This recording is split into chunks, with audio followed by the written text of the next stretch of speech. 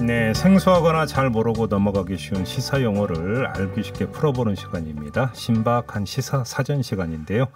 소셜랩 접경지대의 조형근 소장과 함께합니다. 어서 오세요. 예, 안녕하세요. 네, 새해 복 많이 받으시고요. 예, 새해 복 네. 많이 받으십시오. 자, 오늘 주제는 어떤 건가요? 예, 사실 적시 명예훼손죄로 뽑아봤습니다. 음, 이게 얼마 전에도 잠깐 논란이 된 적이 있었는데, 네네. 뭐 이게 좀 관련 뉴스가 좀 있었던 건가요? 예, 예, 예, 뭐 세간의 이목을 끄는 큰 사건은 아닙니다만 네. 보통 사람들 입장에서 보면 무척 공감이 가는 사건이 하나 있었습니다. 네. 작년 말에 보도된 사건인데요. 네. 울산에서 치과 임플란트 시술 후에 부작용으로 고통받던 이 모 씨가 음. 치과 앞에서 1인 시위를 벌였다고 하는데요. 네. 해당 치과가 이 모 씨를 명예훼손과 업무방해, 사기, 협박 등의 혐의로 고소를 했다는 사건입니다. 음흠. 근데 이제 1심 판결에서 사실 적시 명예훼손과 업무 방해 부분이 유죄로 인정됐다는 뉴스입니다. 좀 더 사건을 좀 더 구체적으로 풀어주시면. 예, 이제 이, 이 씨가 이제 이 치과에서 모두 11개의 임플란트 시술을 받았다고 합니다. 네. 예, 처음 발치 후에 잇몸에 염증이 나는 부작용으로 두 번이나 응급실까지 가고요. 어이구. 고생을 했다고 하는데 네. 뭐 그래도 이미 전부 다 발치를 한 상황이라 그 치과에서 시술을 다 받았다고 합니다. 음. 더큰 문제가 이제 시술을 마친 다음 상황인데요. 네. 부정교합이라고 하죠. 예, 예. 아래하고 위하고 이들이 서로 음. 맞지를 않았다고 합니다. 음. 음식을 제대로 먹을 수도 없게 되고 발음도 잘 못하는 상태가 되었다는군요. 음. 네, 그래서 이 씨는 해당 치과에 사과와 치료비 1,800만 원 반환을 요구했다는데요. 네. 치과에서는 사과를 거부하고 오히려 남은 치료비 200만 원을 지불하라.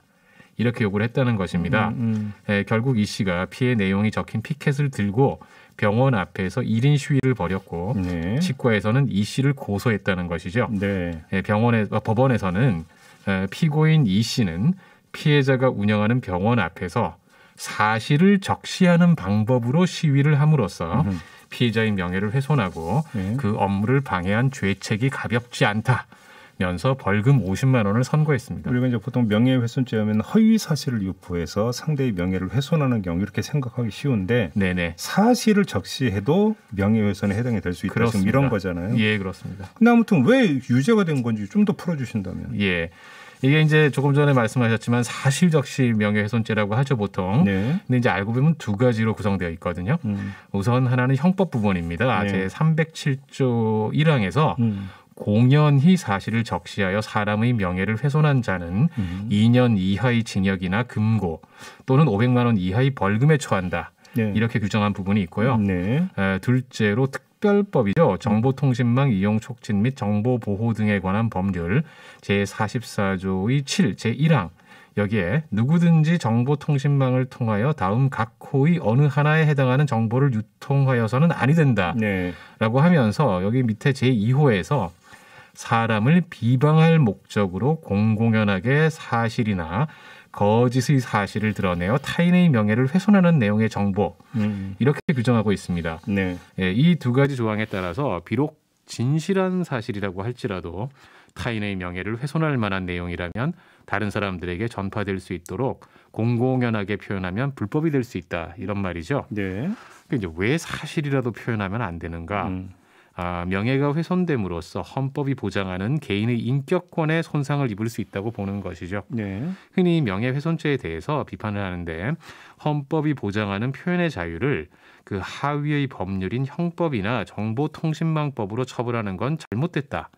이렇게 비판하곤 하거든요. 네. 근데 이제 헌법에서는 사실은 인격의 존엄, 인격권 또한 보장하고 있기 때문에 에, 사실은 표현의 자유와 인격의 존엄이라는 두 가지 헌법적 가치가 충돌하고 있다 이렇게 볼 수 있을 것 같습니다. 아무튼 아니 나는 그 뭐 지어낸 것도 아니고 거짓말한 것도 아니고 사실 얘기한 건데 왜 이게 처벌되는 이렇게 좀 얘기할 수 있는 거 아니겠습니까?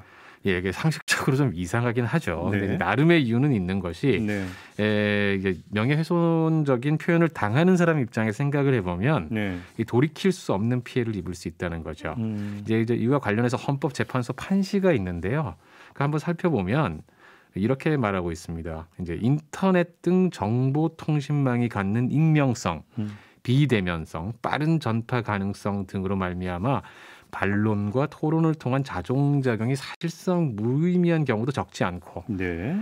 또 요즘 뭐 사실 상당히 무서운 일이죠. 신상 털기 등 네. 타인의 인격 파괴 행위나 개인 정보의 무차별 살포 가능성 등도 지적하고 있습니다. 네. 그러니까 이러다 보면 한 개인의 인격이 형해화되고 회복 불능의 상황으로 몰릴 위험이 있다라는 것이죠. 음.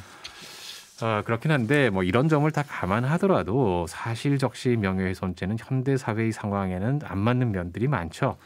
뭐 조금 전 치과 임플란트 시술 피해자 사례를 언급했습니다만 그 외에도 뭐 참 여러 영역에서 피해를 입는 사람들이 많지 않습니까? 음. 음, 뭐 예를 들면 기업의 부당 행위를 고발하는 경우도 그렇고 근년에 크게 부상한 미투 폭로 문제도 그렇습니다. 어, 이런 경우에 피해자들이 피해 사실을 적시해서 비판을 하면 곧바로 사실 적시 명예훼손죄로 반격이 들어옵니다. 음. 여기에 이제 변호사들이 권하는 일종의 자동 매뉴얼 같은 걸로 알려져 있는데요.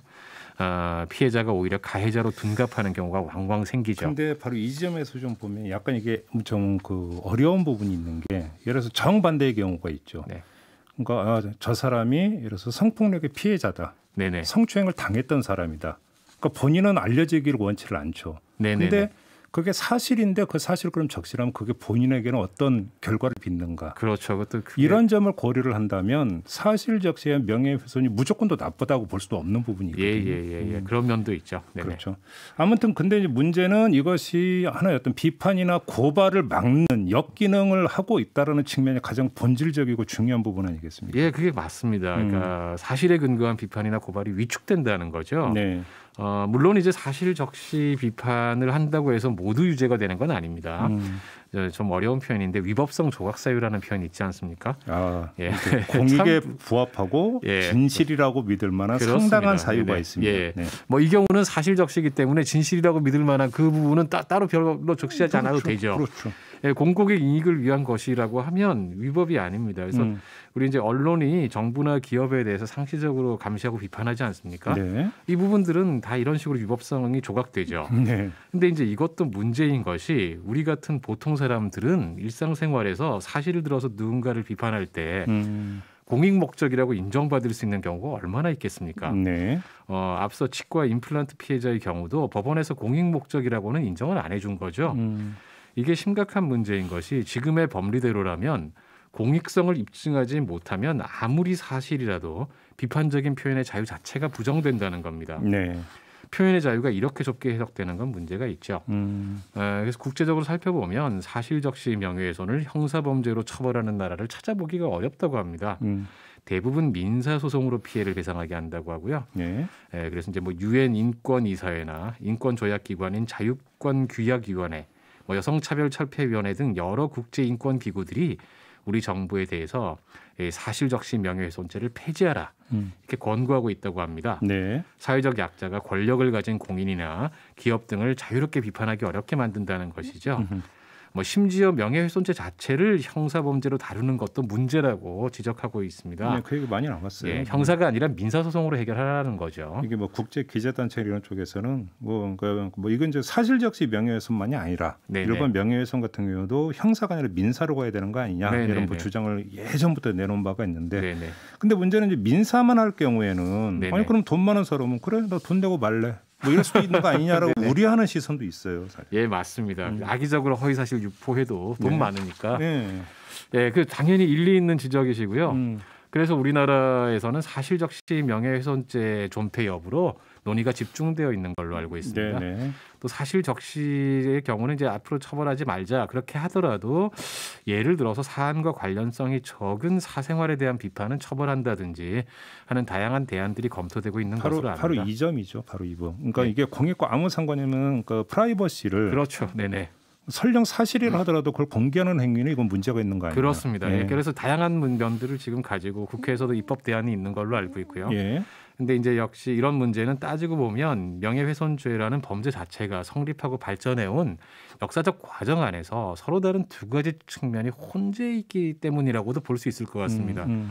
우선 명예훼손죄 기원을 보면 고대 로마의 12표법이라고까지. 아, 여기까지 가나요? 네, 옛날 세계사 상식에서 배웠던 거죠. 예. 로마에서 이제 명예훼손죄는 무엇보다 개인의 명예라는 인격권 보호에 주목적이 있었다고 합니다. 음. 어, 그래서 좁은, 좁은 의미에서의 명예훼손만이 아니고 주거 침입이라든지 네. 사생활 침해 같은 것까지 같은 범죄에서 다뤘다고 합니다. 네. 어, 간단히 말하면 개인들 간의 다툼을 규율하기 위해서 생겨난 법이었다는 거죠. 중세 시대에는 명예훼손 은뭐 결투 신청하고 뭐 이러잖아요. 네, 결, 투 신청은 게르만 풍습입니다. 아, 게르만 풍습입니까? 게르만 풍습입니다. 네. 로마 풍습이 아니고요. 아니요, 중세 아무튼. 네, 중세, 네 그렇습니다. 음. 어, 반면 명예훼손죄의 또 다른 측면은 권력이 자기를 비판하는 사람들에 대해서 언론의 자유, 표현의 자유를 억압하려는 의도에서 만들었다는 것입니다. 네. 어, 영국에서는 이제 13세기에 최초의 명예훼손에 관한 법이 만들어졌다는데요. 음. 왕이나 귀족의 명예를 훼손한 사람을 투옥하는 엄한 법이었다고 합니다.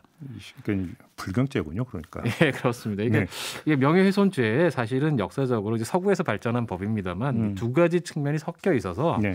칼로 물 베듯이 한쪽이다라고 쉽게 결론을 내리기 어려운 측면이 있는 것 맞아요. 같습니다. 아무튼 근데 지금 제도 개선은 지금 어떻게 진행이 되고 있는 거예요, 논의는? 예, 지금 사실은 헌법재판소가 사실적시 명예훼손죄에 대한 위헌 심판 심리를 진행 중에 있습니다. 어, 그렇군요. 예, 지금 약간 이제 긍정적인 신호들이 좀 나오고 있어서 음. 아마도 이번에는 표현의 자유를 좀 더 확정하는 방향으로 결론이 내려지지 않을까 하는 전망들이 많이 있는데 물론 네. 뭐 뚜껑은 열어봐야 아는 것입니다만 음. 예, 어쩌, 어쨌든 뭐 을들이 가백의 목소리를 내는 걸 가로막는 장벽은 좀 조금이라도 낮아져야 하지 않을까 이렇게 생각을 하게 됩니다. 보통 이제 내부 고발하면 그 역으로 걸고 들어오는 게 두 가지죠. 하나는 업무 방해고 또 하나가 명예훼손. 예. 그런 것들을 이제 좀 고려를 해야 된다는 예, 것도 연결이 될 수 있겠죠. 네. 알겠습니다. 조형근 소장과 함께했습니다. 고맙습니다. 예, 고맙습니다.